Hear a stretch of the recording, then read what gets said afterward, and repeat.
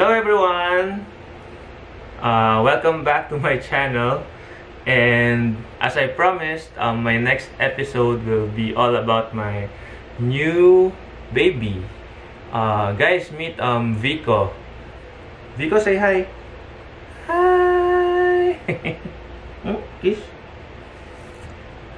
By the way, Vico is a toy poodle and um, nakuha ko siya last week. Uh, kay Miss Joy. Uh, hi Miss Joy, thank you for bringing Vico into my life. Um, sobrang sweet niya. Sobrang sweet ni baby Vico. Ah, uh, kung nagtataka kayo ba't, bakit Vico ang name niya. Siyempre, dahil kay Mayor, Mayor Vico, sobrang sobrang galing kasi ni Mayor. Kaya, pinangalan ko si Vico sa kanya. I hope it's okay, Mayor. Cute naman din si Vico. anyway, um, Vico is um, two months old. Magti-third month na siya sa March 7, uh, sa June 17. And what is special about Vico is that his birthday is March 17 and ka-birthday niya yung mama and papa ko. So, sobrang meant to be kami ni Vico. Di ba, Vico? Hmm?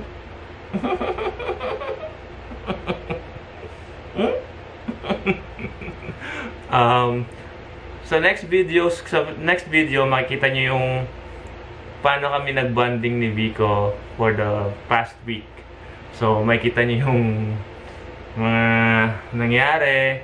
And I hope you like it and sana magustuhan nyo si Vico so that in the next vlogs, marami pa kaming ma-share sa inyo uh, plan plan ko to train him para mas magaling na siyang maging dog at isasali ko siya sa contest. Di ba, Vico?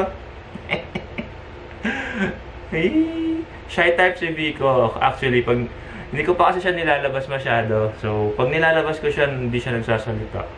Pero, pag magkasama kami, sobrang sweet niya sa akin. Di ba, Vico? May... Ayun. Uh, ayun lang muna and Panoorin niyo yung mga susunod na videos, yung bonding namin ni Vico. And hope to see you again soon with Vico. Bye! Ah, bye-bye na, Vico. Magbabay ka na. Bye-bye! Bye, guys!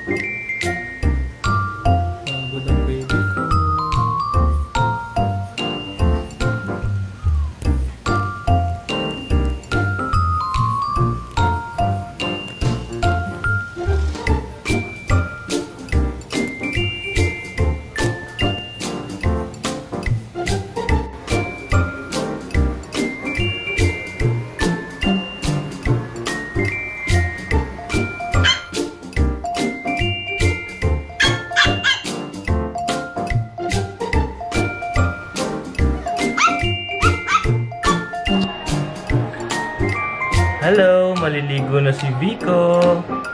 Vico, say hi. Hi to the camera. Maliligo ka na, Vico. Yay! Ligo na si Vico. Vico, ligo na.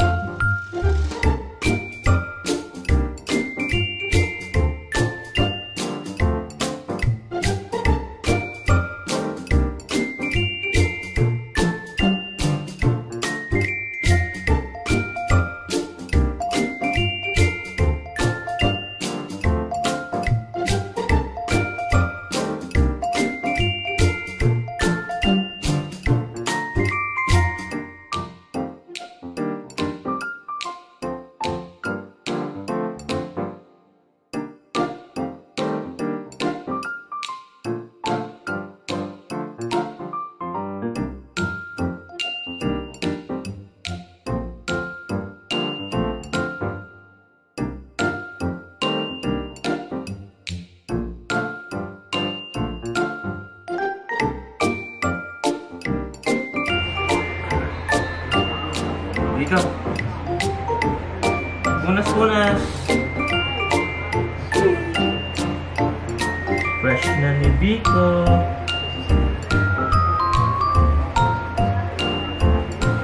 Hindi pa ako nakabili ng blower, guys.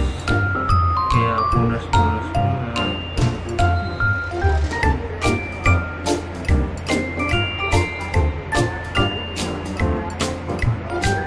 Biko, ang fresh oh.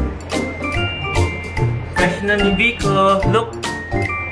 Oh, fresh na. Cute-cute ni Biko. Biko, look. Look. Mm.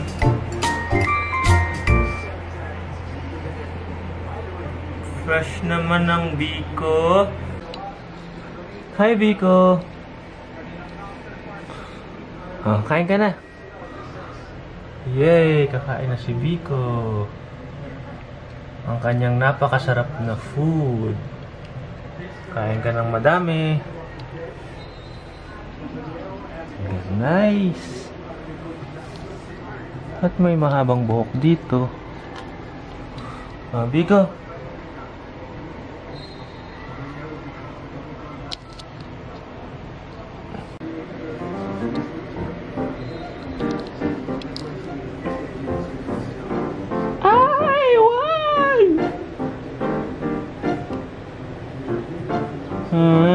Ah, ba't diyan ka umihi?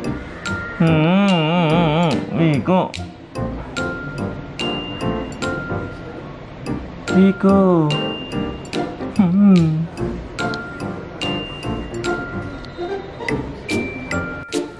Very good, Biko. Diyan ka nga magpupo.